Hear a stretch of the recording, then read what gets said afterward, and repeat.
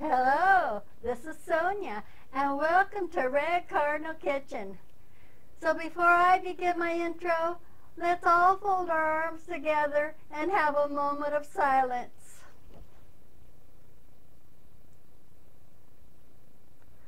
All right, so two Red Cardinal Kitchen cooking shows ago, I lost my electric skillet. I love that skillet. but cheer up, I still have my 54-year-old blender queen. And the last thing that my skillet cooked for me was refried beans. And I think the skillet was so upset because it never got to work for Red Cardinal Kitchen. So, all sadness aside, let's talk about what we're going to make today. So here, I have my brand new skillet. It should feed all of you little red birds. So I wondered, what am I going to make? Well, on the front of the booklet that came with the skillet, there was a picture of a stir fry. So I looked inside and all they had was a meal for breakfast and three dinners. So staring at the picture, my mind started turning and I thought of this meal. So today we are going to be making a fruity, citrusy stir fry with chicken served over jasmine rice. All right, so stay with us and in a moment we'll be right back after the break.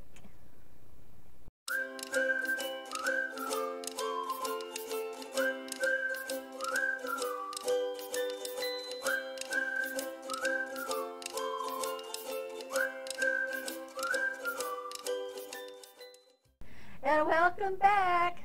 Thank you for subscribing, liking and clicking that bell, and sharing so you won't miss out. If you have questions, go to our YouTube homepage and check the About section for details. For our merch store, click on the store tab. You will find products for men, women, kids, and babies, accessories, stickers, and the list is growing. Also, the ingredients and directions for this recipe will be in the description below. All right, so let's do this. Here I have my skillet. oh, it's very, very heavy. oh. And it is set at a moderate temperature at 250 degrees, moderately low, let's say. All right, so the first thing I want to do is I want to put in some oil. That is olive oil. All right, and we're going to add, let it get hot there, put in some onions. Okay, that a little stir. Boy, I sure got a lot of room here. Okay, makes it look like I have nothing in my pan. All right, and now we are going to add some chicken breast. Hear that sizzle? All right, I want to put this out of the way. It's got chicken liquid in it. All right, smells good already. We're just getting started. Okay, right now I want to add my spices. I have some ginger and some pepper, a little salt, and uh, some Old Bay. They don't sponsor me. Not a sponsor. have to say that because they're not sponsoring me. Okay. So, I hope everybody's doing okay today. And I want to thank everybody out there for being so kind to me. And uh, it's so nice that we're all in one big family now. So if you have other people that you know and they like to cook, bring them on over. So, all right, now I want to add my garlic. And I like the prepared pipe with all that juice. I like that extra juice they give you. It's really, really good. But if you'd like, you go ahead and use whatever you have on hand. And now let's put in some mushrooms.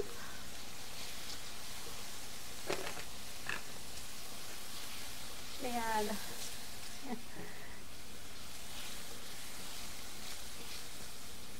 I sure enjoyed watching you guys cook too. And your music is superb. Everyone.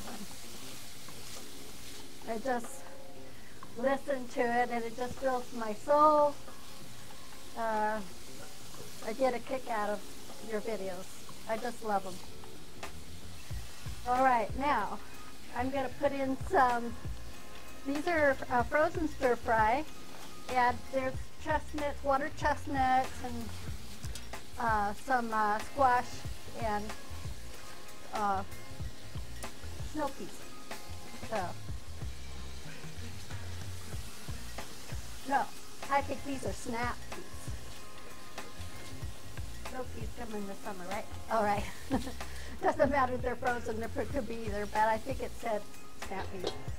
All right, now I'm going to put in some carrots.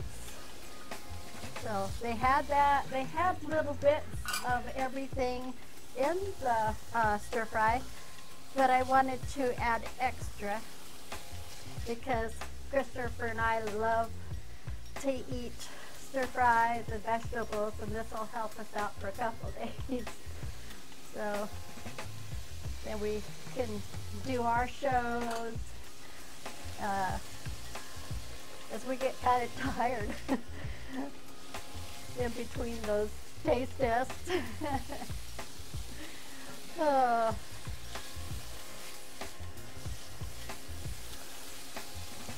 Whoop, there it went. Anyway, you know the rap. All right, so now I have, and I forgot to drain them, but this is the uh, lemon water to keep my apples from turning brown. So I'm just going to drain them. And a little bit can be in there, doesn't matter. It's clean. Citrusy is what I'm going to have in there anyway. So, so apples, and let's put in some oranges. These are very sweet. They're real tiny, and usually when you get those little tiny ones, they get sour, but not so with these, so this could be delicious. And I like all of the zest. I don't go for just one of those tablespoons. So, well, I'm trying to get the cameraman up here. It'll be a surprise one of these days. It looks like we're almost to the end here, so I'm going to let this brown up for a little bit. And oh, and before I go, I just wanted to tell you about the rice. I cooked it ahead, and uh, it's jasmine rice. So I put in three quarters cup of rice. I'll put this in the recipe as well. And then I added chicken broth, uh, one and a half plus three quarters cup. Figure it out. and I uh, let it, once it came to a small little gentle boil, I put the lid on and let it sit for 15 minutes, or cooked it for 15 minutes. And then uh, as soon as, as Alexa told me it was done, I took the lid off and immediately put it into a plate. And let's see if I can, so and it was really, it's really runny, you know, watery.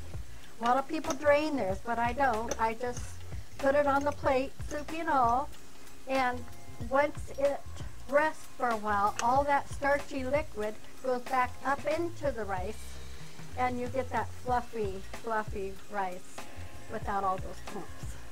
So anyway, we're going to go to break, and we're going to be back. See you in a little bit. All right, well, we're back. And this is the luckiest time of the day, is having this taste test. And boy, am I ever hungry. So, I'm going to get myself a serving here. Some jasmine rice, a little fluffiness to it.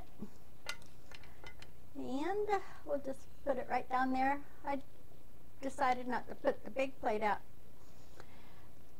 And then I have my fruit, oranges and apples, mushrooms, carrots, those little peas, not the snow peas, the snap peas.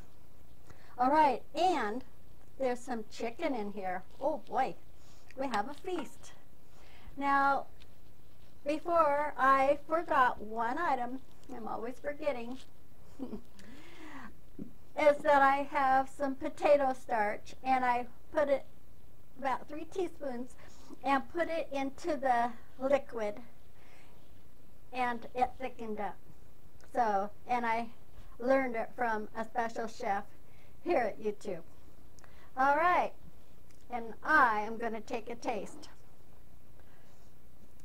Oh, here's a water chestnut. I'll do that first.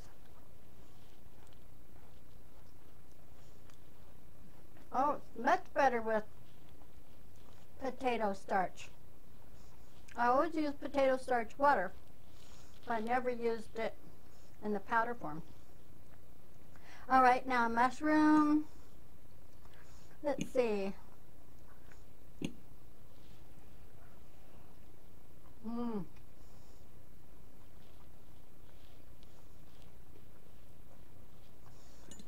Apple and orange. Oh boy.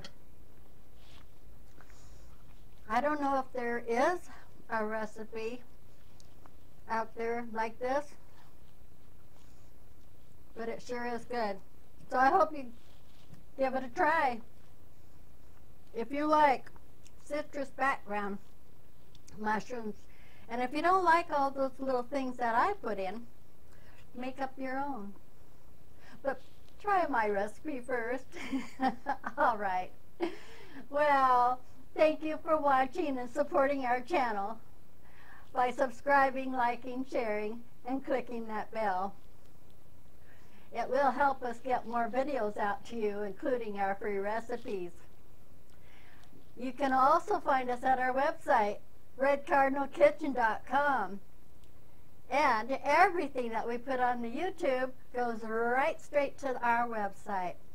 So, for every step of the way, happy eating and God bless. And we'll see you on the flip side. Bye-bye now.